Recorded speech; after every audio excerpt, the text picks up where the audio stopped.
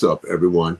It's Turner Fan 77, aka Rich, and this is this week's movie news at five. I'm going solo today because David is on assignment. What that really means is David's giving his wife the lowdown, if you know what I mean. He needed to recharge his batteries, so he took the week off, and I'm here to deliver you guys the news for this week.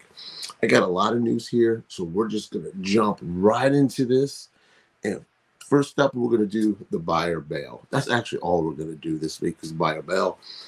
Because David does all the other stuff, and I'm the one that gathers the news. So first up, we are gonna jump right into um, the fall sequel. Did you guys like the movie The Fall? Because I did, and it is I'm trying to find the image here. Here we go. This movie is a lot of fun. I don't like heights, so this played to me really well. And we are getting a sequel to this directed by the Jigsaw guys, the Spring Spring Brothers. I think that's how you say it. Um, there's no really no plot details. Do we really need plot details? Because you know there's a, they're going to be high in the air or something. But it is set for. Oh man, wait! I don't think they have a release date, but um, they greenlight the sequel and a part three. So they're kind of getting jumping ahead of themselves, which is okay, you know, if they're confident in the franchise. Um, did you guys like the fall movie? Are you guys looking forward to seeing this? As for the buyer bail, I'm gonna buy because I had a lot of fun with the first one. So I'm looking forward to the second one. Next up, we have excuse me here. I'm still trying to work all these things. David usually does all this. You guys like Adam Sandler, right? Who doesn't? Well, I really don't. I guess I shouldn't say that. But Adam Sandler, Adam Sandler's, let me start over, guys. Adam Sandler's Happy Gilmore 2 was confirmed to be greenlit at Netflix. And I am not a fan of Adam Sandler. I liked Happy Gilmore, the first one, but it's been at 15, probably 15, 20 years since I've seen it. I don't even know if it still holds up. But it seems like Adam Sandler's found success with Netflix because it seems like all his movies do well on there.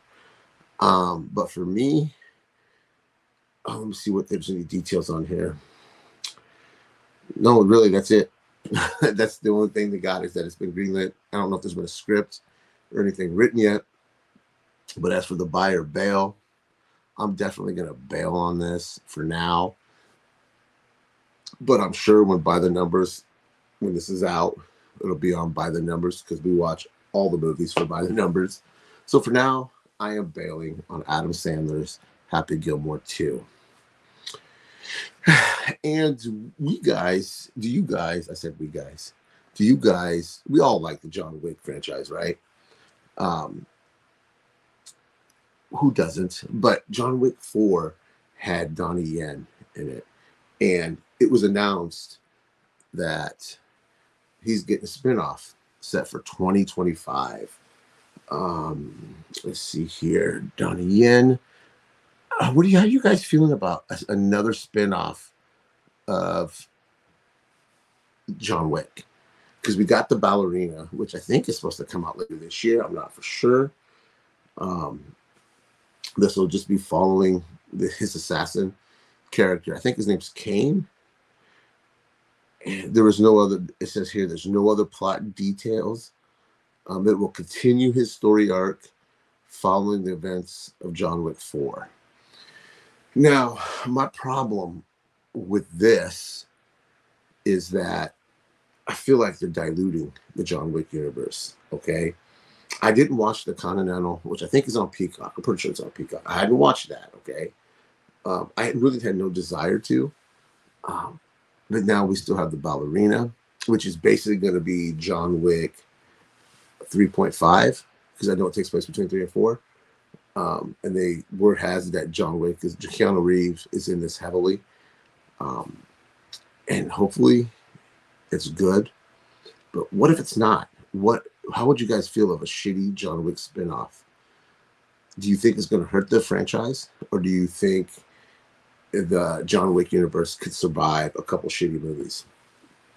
For right now, I'm optimistically buying this because I like Donnie Yen's character in this, and I like Donnie Yen as an actor. So for now, I'm buying. Okay, next up is Kathryn Bigelow is set to direct a new film at Netflix. But guys, when was the last time Kathryn Bigelow has had a great movie? She hasn't had a lot of success. She had that movie, what is it called? Um, Detroit. Yeah, Detroit. Yeah, that was a good movie. But who really saw that? I mean, not a lot of people saw that movie. Um, she had there's not a lot of details on this movie at Netflix, but I think she needs a hit because she hasn't had one in a long time.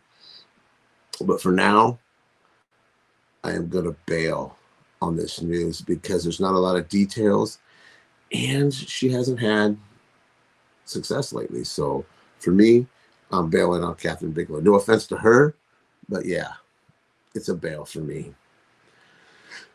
Next up, okay, now this movie I'm excited because this next one is this one. Oh shit, sorry. Banners. Supergirl. I am excited what James Gunn is going to be doing in the new DC universe. Um, I like the casting here.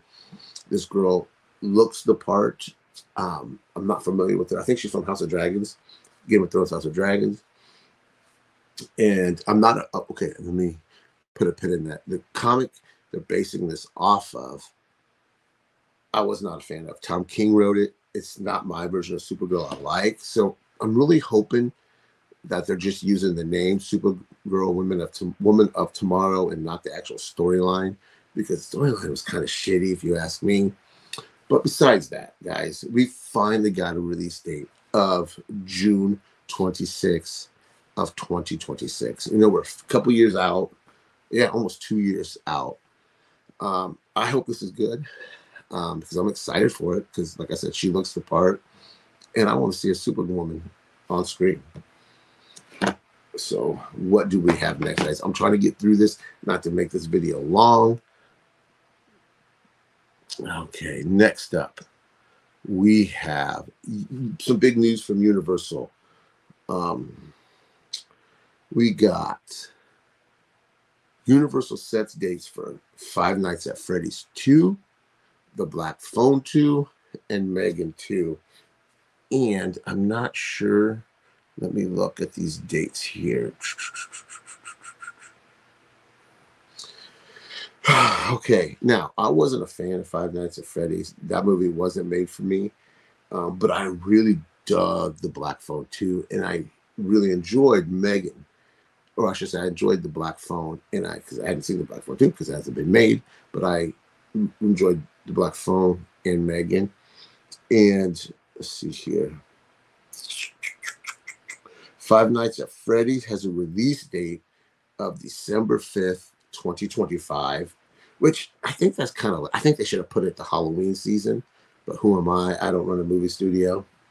And then you got the Black Phone 2 will shift from June 7th, 2025 to October 17th of 2025. They're just pushing it back a couple months.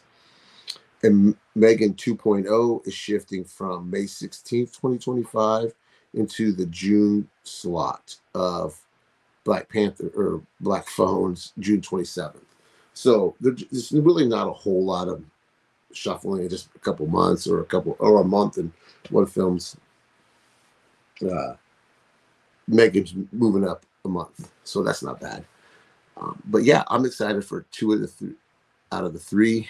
Um, I won't see Five Nights at Freddy's 2 unless David makes me go see it, and he probably will.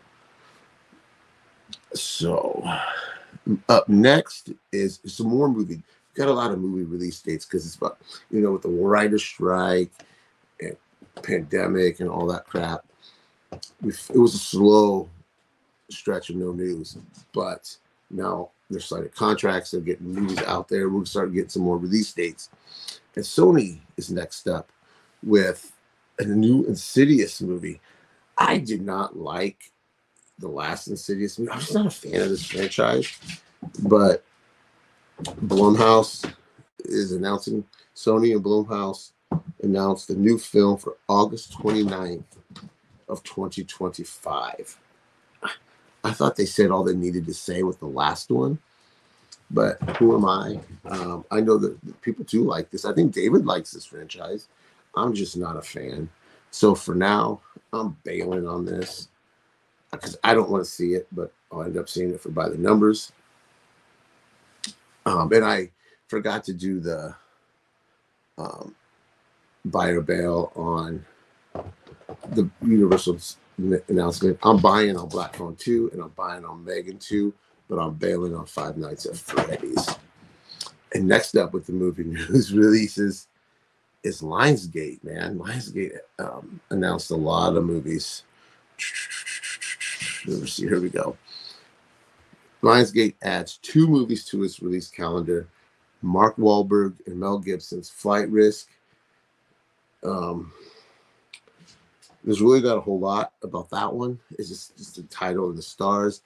And a movie that I had a lot of fun watching, which I thought was really good and that's Gerard Butler's Den of Thieves Pantera. I didn't know this was getting a sequel till I found this in the news, and that's coming out January 10th. And Flight Risk is coming out this year of October 18th of 2024. I'm a fan of Mark Wahlberg in serious roles, and I'm a fan of Mel Gibson because when they do, forget what Mel Gibson did behind the camera or off in the streets or whatever, however you want. It's personal life. He's still a fantastic director, a fantastic actor. So I'm buying on Flight Risk with Mark Wahlberg and Mel Gibson, and I'm definitely buying on Gerard Butler's Den of Thieves 2, Pantera. So two good movies announced there. Oops. And then we have, man, this one this one has me excited because I love the X Men comics. I enjoyed the X Men films for the most part, but we're finally getting the X Men in the proper Marvel universe, Marvel Studios, MCU, however the hell you want to say it. We finally got a screenwriter in Michael Lesslie.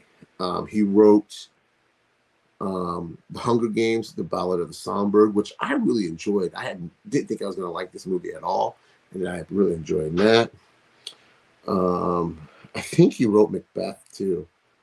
So I am definitely buying on this because I can't wait to see. Even though I'm burnt out on the X Men or the Marvel movies in general, this has me excited because I'm a big fan of the X Men. So there's that. And we got one more piece of news for today's episode of Movie News at Five. Where I love James Cameron's or James Cameron. Um, I don't know why I said James Cameron. Um, the guy who did the Star Trek movies, the remakes. What's his name? J.J. Abrams. In my mind, I'm blank there. I'm a big fan of his movies, his Star Trek movies. This news, though, kind of threw me. Um, Simon Kinberg, I think that's how you say it.